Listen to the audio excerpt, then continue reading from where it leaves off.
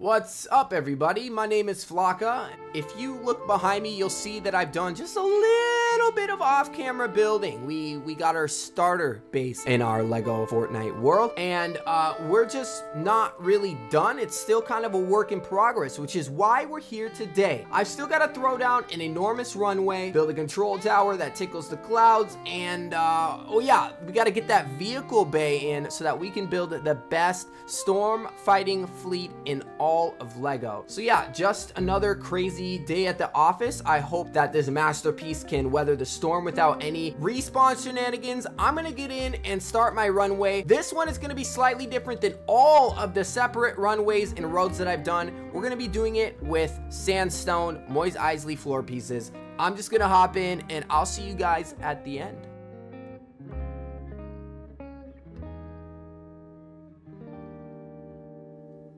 So I've run out of sandstone, but luckily for me, the desert is literally 250 meters away. Uh, this seed is absolutely incredible. I might throw it down in the description for you guys because the frostlands, it, like it's it's right there. So yeah, we're gonna go up to the base and we're gonna go grab the Aim glider and we're gonna go get some sand.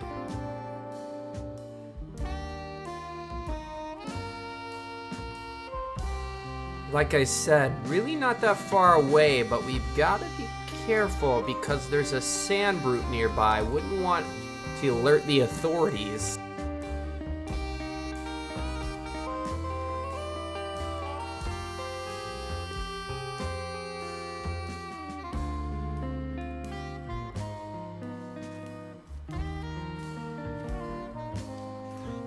Ah, leave me alone.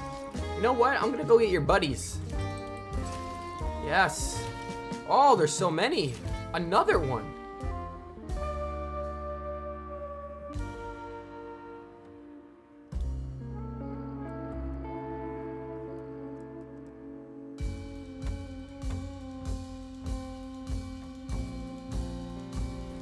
Oh, that was close. And it was also the last bit of excitement I was gonna get for a long time because we had to take this sand and turn it into sandstone. And dude, this stone breaker, it's so slow. Just like, just cue the montage. Maybe you got something in your nose, sniffing that K. Did you feel the hole? Hope you find peace for yourself. New boyfriend ain't gon' fill the void. Really oh my goodness. I honestly thought I was never going to figure that out, but here we are. This is what we've got. We could make it a little bit longer, but I think this is fine and dandy. Uh, I've come to learn that I don't need the longest runway in the world, so we got to put up the control tower now. You know, you're gonna do the two by two, you know, tower thing, and then we're gonna do like the lighthouse pieces again. Uh, pretty basic stuff. Just threw some pieces to make it kind of look like uh, radars or whatever on top. Put up a sign. I think it looks great. I think it looks good. I can't really complain. Don't need to add too much spice to it. Uh, but we do need to add trim and lights onto our runway. Uh, but we don't have any Brightcore, so we need to take a quick trip out to the desert, where I was gonna experience my first stamina glitch in a long time. Are you serious? Is this really a thing in the year 2024? Oh, I forgot my charms. Oh, I'm gonna die in here. See the meat pie for extra hearts. Let's get what we came for and get out. I don't have the ability to run away, so we gotta be so careful.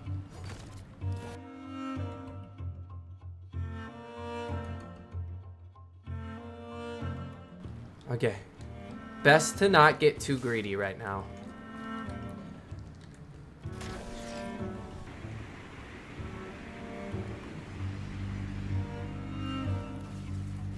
see what the tower looks like all the way around. Gotta get those lights in. But that is exactly why we went to go get some Brightcore.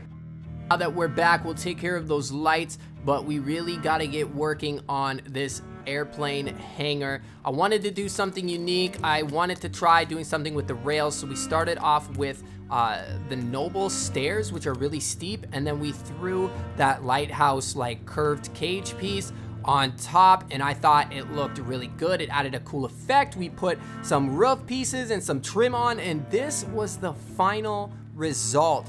This has got to be the greatest vehicle hangar I've ever made. I added some blue lights and some Tinkerer lights here and there to really give it the look of a cool hangar. We'll add some more detail later, but man, this thing looks beautiful. There's plenty of space for a large aircraft, and I'm excited to create some more expert mode vehicles. And if you guys have been enjoying the content so far and you're excited as well, hit that sub button, ring the bell so that you never miss another piece of content that comes out of my buns ever again.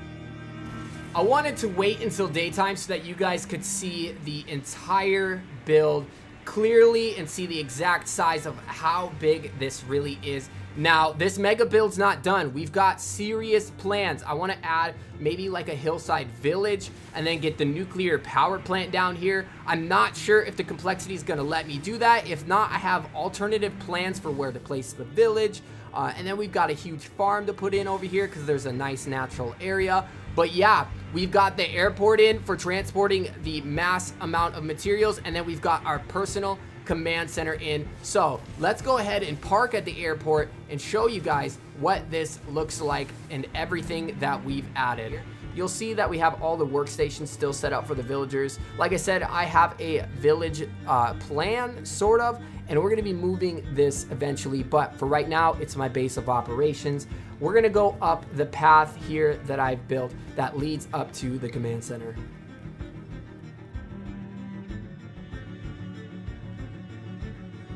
So we're gonna actually go around here and skip the inside of this. There's nothing special, just some storage and some workstations that I'm setting up. And we're just gonna go up to the top and show you the rest.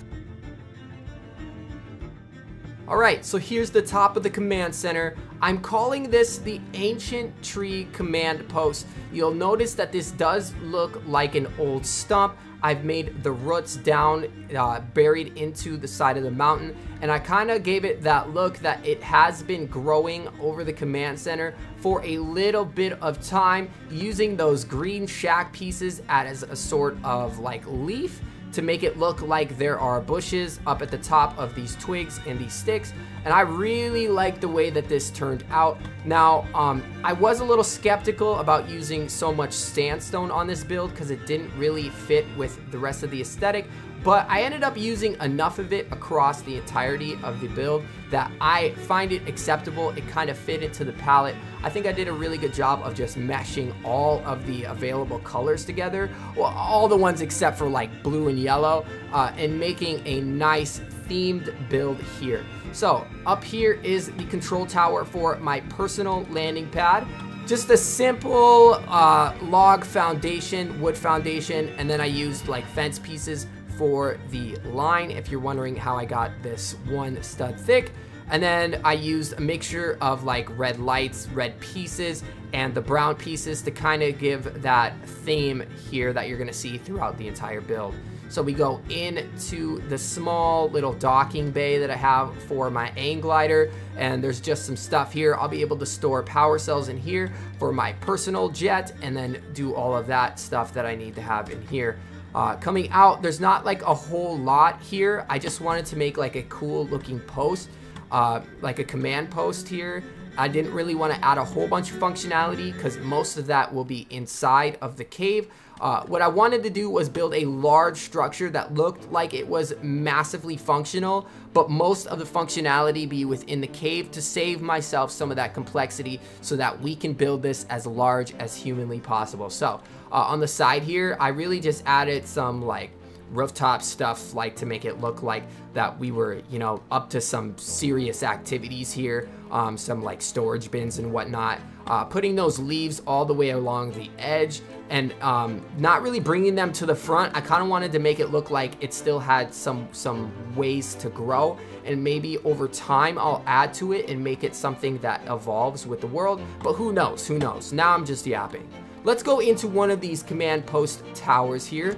They're nothing special. If you walk in, there is some sideways building used and some really cool detail that I like and I'm really proud of myself for incorporating. Uh, but nothing too crazy, just a little post for some command workers to help uh, run the operations of whatever I might have going on here within my expert run.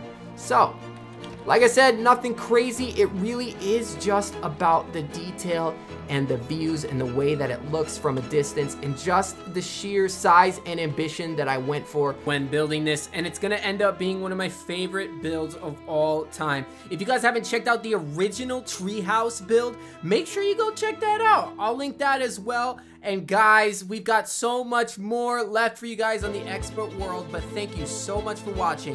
What an incredible build. I hope you guys have a great rest of your day, great rest of your week. Take it easy, and I'll see you in the next one.